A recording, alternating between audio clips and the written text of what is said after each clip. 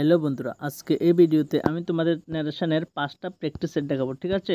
তো আজকের এই ভিডিওতে তোমরা যে দেখতে পাচ্ছ, এখানে এই পাঁচটা আমি তোমাদের ন্যারেশন প্র্যাকটিস সেট সলভ করে দেখাবো, ঠিক আছে?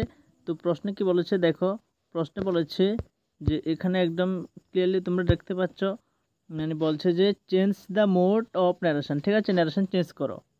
তো কোনো মানে এমন যদি পরীক্ষার মধ্যে দেখতে পাও যে এমন কমা কোটেশন থাকে তাহলে বুঝবা যে ডাইরেক্ট নারেশনে আসে তোমাদের ইনডাইরেক্ট করতে হবে। কোনো কোনো সময় স্যাররা কী করে? ইনডাইরেক্ট করে তোমাদের ডাইরেক্ট করতে হবে, ঠিক আছে? তো সেটা আমি পরবর্তী ভিডিওতে দেখিয়ে দেবো কীভাবে ইনডাইরেক্ট থেকে ডাইরেক্ট করতে হয়। কিন্তু আজকে এই ভিডিওতে আমরা দেখব যে কীভাবে একটি সেন্টেন্সকে একটা ডাইরেক্ট সেন্টেন্সকে ইনডাইরেক্ট করতে হয়, ঠিক আছে?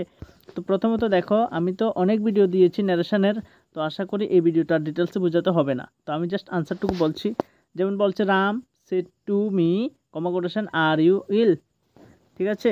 তো এখানে আমরা ইজিলি দেখতে পাচ্ছি এটা প্রশ্নবোধক চিহ্ন মানে এটা একটা ইন্টারগেটিভ সেন্টেন্স তো ইন্টারগেটিভ সেন্টেন্সে নারেশন করতে হলে প্রথমে সেটটির পরিবর্তে কি লিখতে হবে?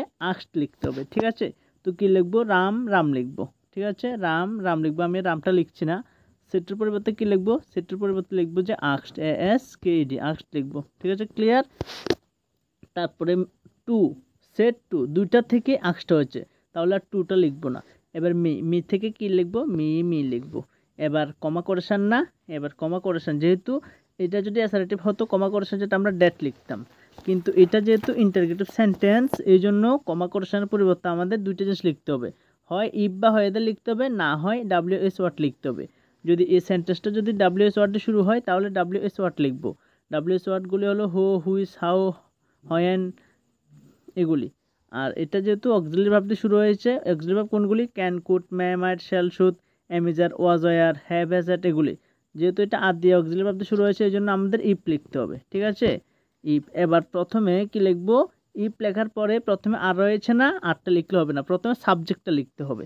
তো সাবজেক্ট ইউ না, তো ইউটা কোন person second person second person হলে সেকেন্ড জায়গা অনুসারে মানে মি অনুসারে। তো মি এর সাবজেক্টিভ ফর্ম কী হবে? আই হবে, ঠিক আছে? তাহলে রাম আক্সড মি ইফ আই হবে, ঠিক আছে? মি এর সাবজেক্টিভ ফর্ম আই না আই হবে। তারপরে এবার ভার্ব লিখব। এখানে যেহেতু পাস্ট টেন্স এখানে যেহেতু পাস্ট টেন্স এখানে টেন্স চেঞ্জ হবে অ্যামিজার থাকলে ওয়াজ ওয়ের হবে। তাহলে আইয়ের সাথে ওয়াজ হবে, ঠিক আছে? আই ওয়াজ ইল হলে ইল হবে, ঠিক আছে? তারপরে ফুল স্টপ হয়ে যাবে। ক্লিয়ার বুঝতে পেরেছ? তাহলে পুরো সেন্টেন্সটা কী হবে? Ram আক্সড me if I was ill এতটুকু। এবার সেকেন্ডটা দেখো।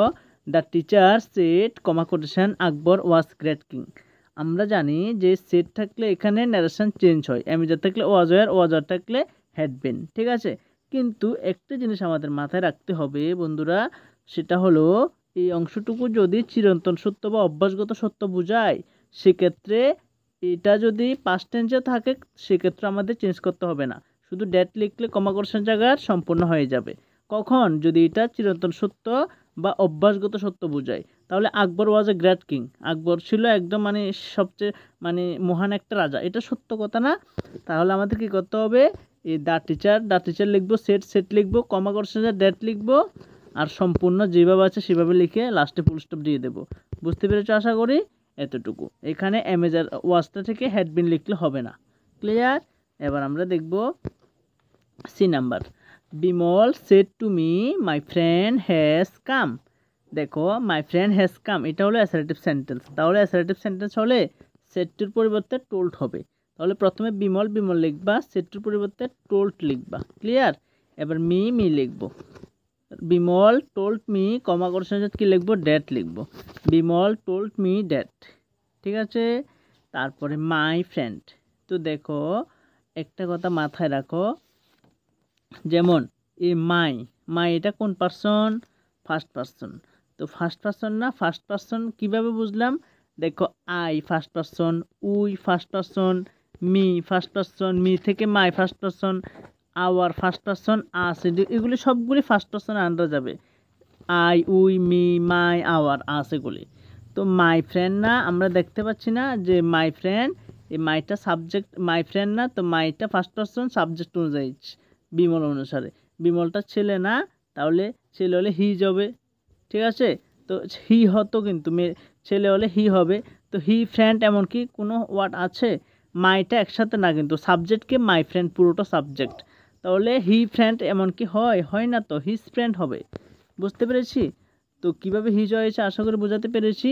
তার মানে এবার কি হবে?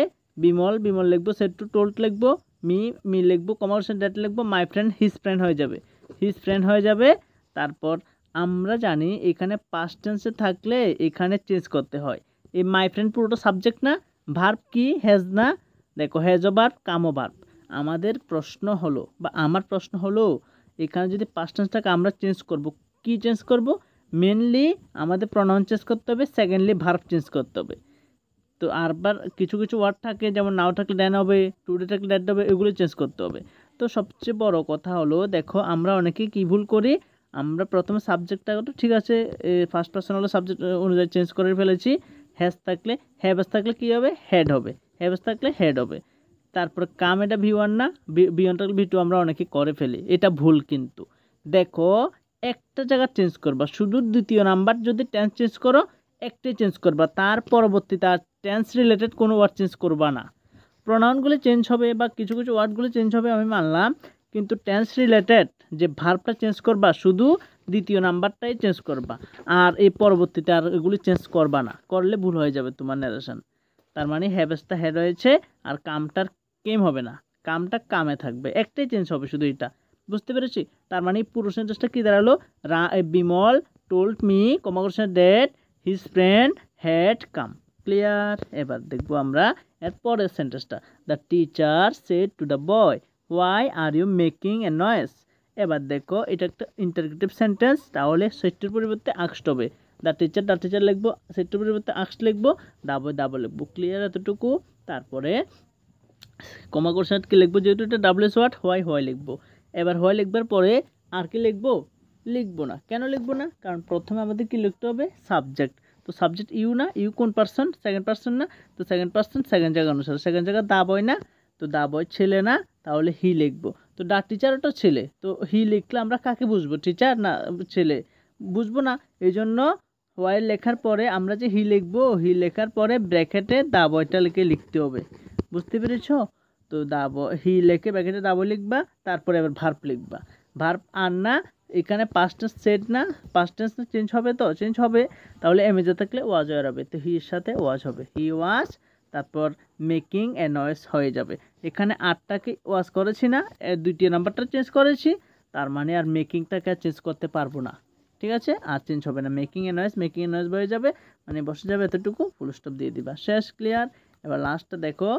Ram said I am eating rice ঠিক আছে? তো আই এম ইটিং রাইস এটা অ্যাসারেটিভ তাহলে এখানে সেট থাকলে সেট হবে। রাম সেট সেট লিখব কমা কোর্শন ডেট লিখব, আর এটা ফার্স্ট পার্সন না সাবজেক্ট অনুযায়ী রাম অনুযায়ী হবে। তাহলে হি হবে। রাম সেট ডেট হি যেহেতু এটা পাস্ট টেন্স এখানে চেঞ্জ হবে আমি যা থাকলে ওয়াজ হবে। তো হি এর সাথে ওয়াজ হবে। হি ওয়াজ ইটিং যেহেতু একটা চেঞ্জ করেছি এমটা এই জন্য ইটিংটাকে চেঞ্জ করব না। তাহলে কারণ টেন্স রিলেটেড দ্বিতীয় ভার্বটা চেঞ্জ করলে আর চেঞ্জ করতে হবে না। Ram said that he was eating rice okay এতটুকু আশা করি বুঝতে পেরেছ। তো নেক্সট ভিডিওতে মানে আজকে ভিডিওতে তো আমি ন্যারেশন সম্পর্কে পাঁচটা দেখিয়েছি। নেক্সট ভিডিওতে এই যে দেখতে পাচ্ছ tense related fill in the blanks with appropriate tense form এই টেন্স রিলেটেড এই পাঁচটা সমাধান করে দেখাবো। ঠিক আছে? তো আজকের জন্য এতটুকু। So tata.